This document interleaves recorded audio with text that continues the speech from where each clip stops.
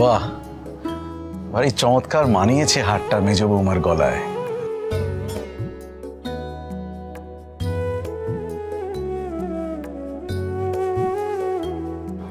Aunty এটা তো খুব সুন্দর দেখতে কিন্তু এটা যে খুব দামি।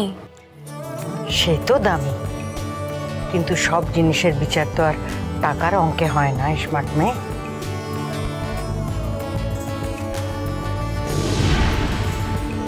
জানো তো প্রত্যেক বাড়িতে, প্রত্যেক সংসারে কিছু কিছু জিনিস এমন থাকে যেগুলোকে টাকা দিয়ে তুলনা করা যায় না। সেগুলোর সঙ্গে সেই বাড়ির মান, সম্মান সব জড়িয়ে। ঠিক তেমনই এই হারটা আমাদের এই ঘোষ বাড়ির মান, সম্মানের সঙ্গে জড়িয়ে আছে।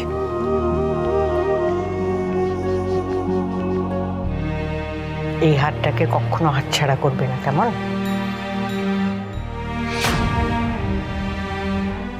আর তুমি এই হারটা তাকেই পরাবে, যাকে তোমার মনে হবে তোমার সংসারের সবচেয়ে যোগ্য।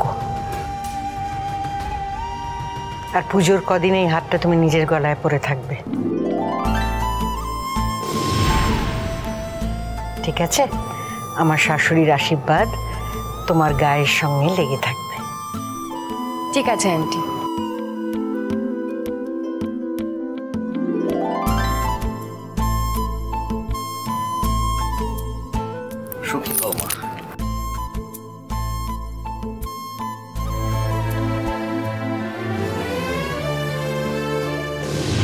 ওই সাতনলি হাড়ের ওপর আমার চিরকাল লোভ ছিল। আর সেটা কিনা পেল মেজবু?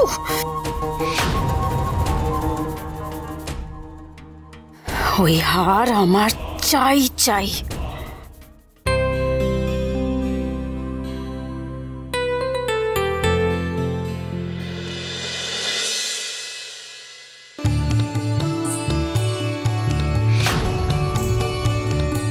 আচ্ছা মেজদা বলছি তুই যে এত সব অর্ডার নিলি লুচি আলুর দম মোচার চপ বলছি এতগুলো অর্ডার সময় মতো হবে তো?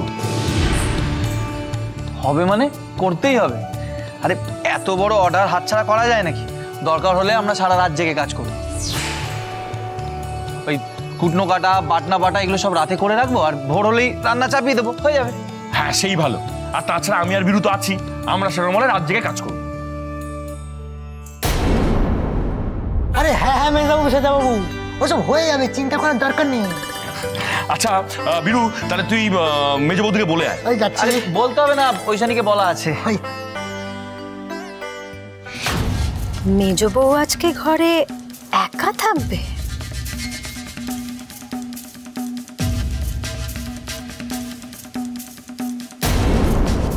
এই সুযোগ তো হাতছাড়া করা যাবে না।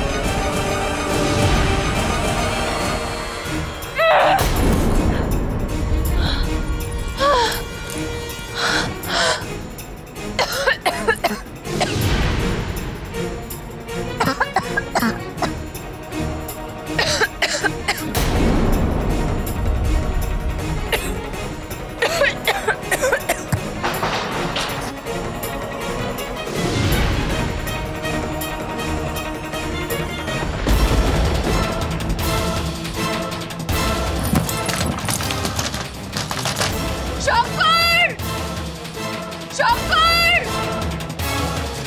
शौकर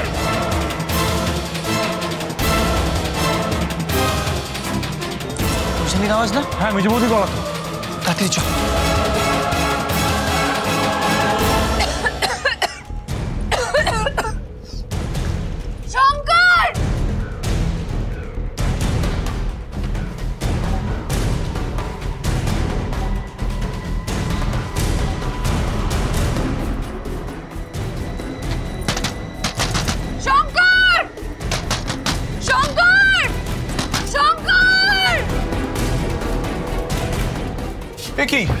দরজাটা বাইরে থেকে বন্ধ কেন?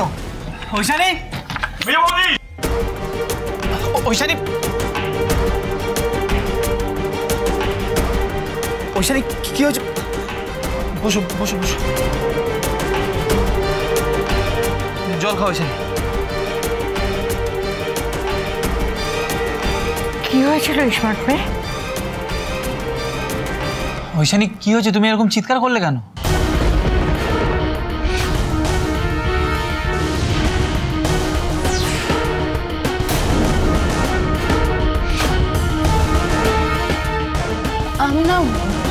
পড়েছিলাম তখন কেউ একজন এই ঘরে ঢোকে আমার মুখের উপরে বালিশ চাপা দিয়ে আমার মারার চেষ্টা করছিল।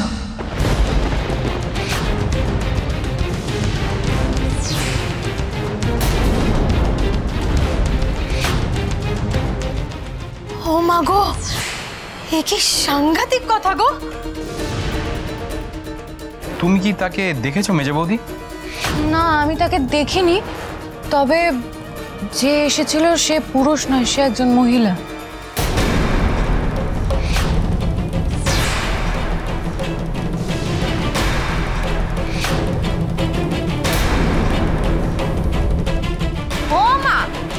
চোখে দেখোনি? অথচ বেটা ছেলে না মেয়ে ছেলে সেটা বুঝে গেলে? আমি আমি বুঝেছি কারণ আমি যখন তাকে ধাক্কা মেরে সরানোর চেষ্টা করছিলাম আমি তখন তার হাতটা ধরেছিলাম। তার হাতে সে চুরি পড়েছিল।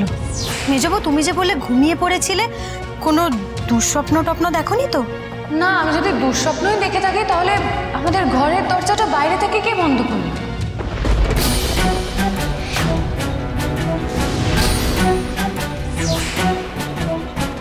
একদম ঠিক কথা। আচ্ছা বৌদি? তুমি কি লাইটটা নিভিয়ে শুয়েছিলে? না আমি তো বই পড়ছিলাম লাইট কেন অফ করতে যাব? তার মানে যে তোমায় মারতে ঢুকেছিল সেই লাইটটা নিভিয়েছে?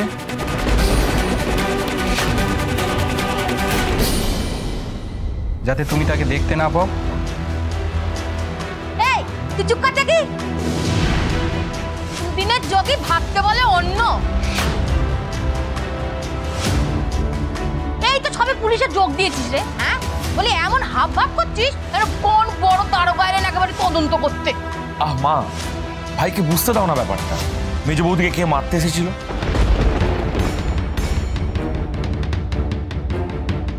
এই যে, তুই চুপ কর দেখিনি? কেউ মারতে টাপতে আসেনি। আরে বাড়ির ভেতর ঢুকে বাড়ির বউকে কে মারতে আসবে রে হ্যাঁ? বলি ওসব ওই পেট গরমের স্বপ্ন দেখেছে। খেয়েছে না খেয়েছে তার ঠিক নেই। আর ওই দরজাটা বন্ধ সে এখন টিকু টিকু কেউ বাচ্চা মানুষ দুষ্টুমি করে হয়তো দরজা বন্ধ করে দিয়ে চলে গেছে। ওমা কি করে হবে? পিকু তো কখন শুয়ে পড়েছে তাই না বড় বৌদি? তাই না বড় বৌদি? বলি হ্যাঁ গো তুমি আবার এর মধ্যে মাথা গলাচ্ছ কেন হ্যাঁ? ঢেঁড়স কোথাকার বলি ভগবান তোমার ঘটে বুদ্ধি শুদ্ধি কিছু দিয়েছে? আহ, মা। এটা একটা খুব সিরিয়াস কেস তুমি একটু চুপ করো না। এই সিরিয়াস ব্যাপার ট্যাপার না একদম আমাকে বোঝাতে আসবি না। বুঝেছিস? বাড়িটার কি অবস্থা হয়েছে মাগো হ্যাঁ? বলে নাকি ঘরের বউকে বাইরে থেকে লোক এসে মাপতে আসছে? এই কথা আমাকে এই বয়সে আমার বাপের ভিড়ে দাঁড়িয়ে দাঁড়িয়ে শুনতে হচ্ছে? সংসারটা তো একেবারে উচ্চন্নে গেছে। হ্যাঁ ও প্রভাকর কি শুনছি রে হ্যাঁ? শুনতে পাচ্ছিস তুই? বৌবাই ধরেনি কো মেজো বৌদি? বৌবাই ধরলে? আমি ওসবে বিশ্বাস করি না। আর যে ঘটনাটা ঘটেছে সেটা পরিষ্কার কোনো মানুষের কাজ। আমাদের ঘরে ঢুকে কেউ তোমাকে মারার চেষ্টা করল। সদর দরজাও তো বন্ধ। আর আমি আর দিবাকর তো পাইস হোটেলে কাজ করছিলাম। সেখান দিয়েও তো কেউ ঢোকেনি। আর আমি তো নিচে জেগেই ছিলাম। কেউ পাঁচিল টপকে ঢুকবে এমনটাও সম্ভব নয়।